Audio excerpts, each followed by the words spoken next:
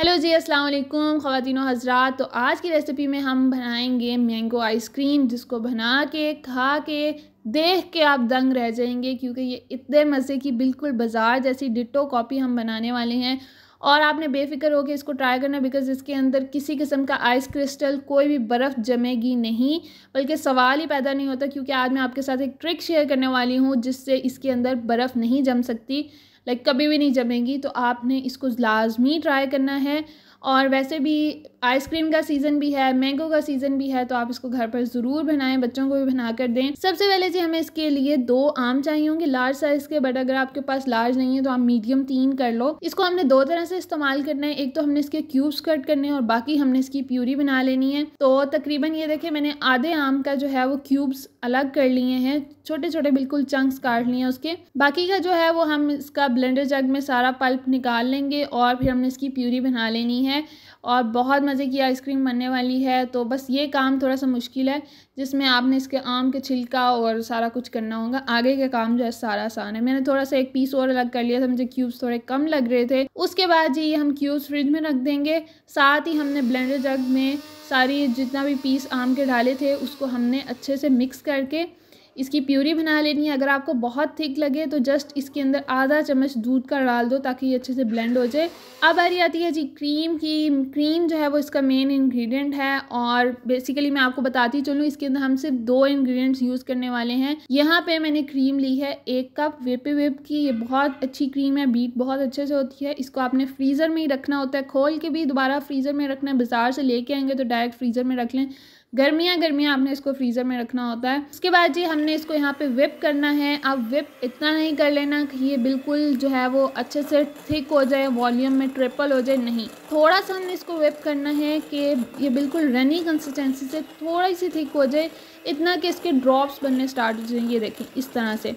बहुत ज़्यादा whip again मैं आपको बता रही हूँ, जिस तरह की हम केक के ऊपर क्रीम लगाते हैं ना विप करके उस तरह का नहीं आपने रखना, बस। इस तरह का आपने करना है। तकरीबन इसको तीन मिनट आई गेस लगेंगे ज़्यादा से ज़्यादा। उसके बाद जी जो हमने प्यूरी बना के रखी हुई थी, वो आपने इसके अंदर शामिल कर देनी है। अच्छा एक चीज़ ये कि यहाँ पे मैं सिर्फ़ दो इन्ग्रीडियंट्स से बना रही हूँ, जो कि है क्रीम और मैंगोज़ अगर आपके आम जो हैं वो ज़्यादा मीठे नहीं हैं तो आप इसके अंदर कंडेंस्ड मिल्क ऐड कर सकते हो, या फिर तीसरी चीज़, आप इसके अंदर पाउडर शुगर भी ऐड कर सकते हो।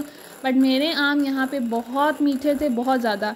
इसलिए मैंने इसके अंदर तीसरी कोई चीज़ ऐड नहीं की कि क्रीम भी मीठी होती है वेपे वेप की, और आम भी मीठे थे तो फिर मुझे बिल्कुल ज़रूरत नहीं लगी थी। इस स्टेज के पर आप इसको चख के देख सकते हो। अदरवाइज़ फिर आप ऐसे ही रहने दो दो इन्ग्रीडियंट्स वाली बना लो, अगर मीठे हैं आम तो।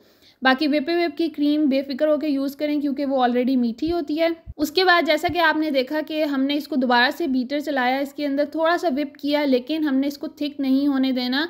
उसके बाद हमने इसके ऊपर क्लिंग रैप लगा के बोल समेत ऐसे ही फ्रीज़र में रख लेना है।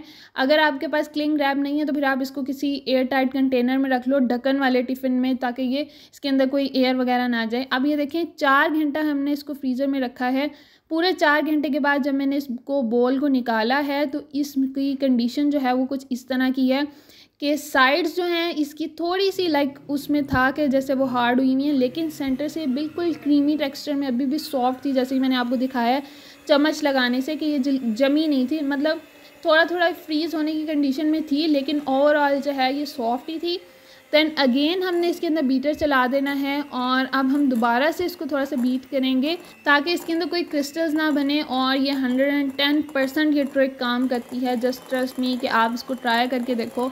ये देखें, हमने अब इसको दोबारा से बीट किया है और थोड़ी थोड़ी वो जो जमी हुई थी थोड़ी थोड़ी फ्रीज़ हुई हुई थी, दोबारा से जब हमने इसको बीट किया है तो ये दोबारा से क्रीमी टेक्सचर में आ गई है और सॉफ्ट हो गई है। एक तो किचन में टेम्परेचर भी थोड़ा हाई होता है, उससे भी थोड़ा क्रीम मेल्ट होती है और दूसरा बीट करने से भी इसको फ़र्क पड़ता है। अब ये देख लें, इसकी कंसिस्टेंसी इस तरह की है। इस टाइम पे आपने अब इसको किसी एयर टाइट कंटेनर में रखना है, कोई आइसक्रीम वाला बॉक्स है, उसमें रख लें, कोई डिस्पोजेबल है, कुछ भी रख लें। अब यहाँ पे मेरे आम जो मैंने काट के रखे थे, वो अनस ने खा लिए थे, फ्रिज से निकाल के तो ये मेरी अम्मी ने और काट के फिर मुझे दिए। जिसमें दो तरह के थे, मैंने दोनों ही डाल दिए थे। तो यहाँ पे अगर तो अगेन वही चीज़ है कि अगर आपके आम मीठे हैं तो ये चंक्स ऐड करें बट अगर आम आपका खट्टा है या फीका है तो फिर ये मज़ा नहीं करते। तो फिर आप इस चीज़ को स्किप कर दें। फिर वो खट्टे खट्टे अच्छे नहीं लगते आइसक्रीम में आएँगे। तो यहाँ पे अब हमने आम डालने के बाद इसको अच्छे से मिक्स कर लेना है। और इसको सही से सील पैक कर देना है। सील पैक से मुराद कि इसका ढक्कन अच्छे से टाइटली बंद कर देना है ताकि इसके अंदर कोई एयर कुछ भी ना जाए।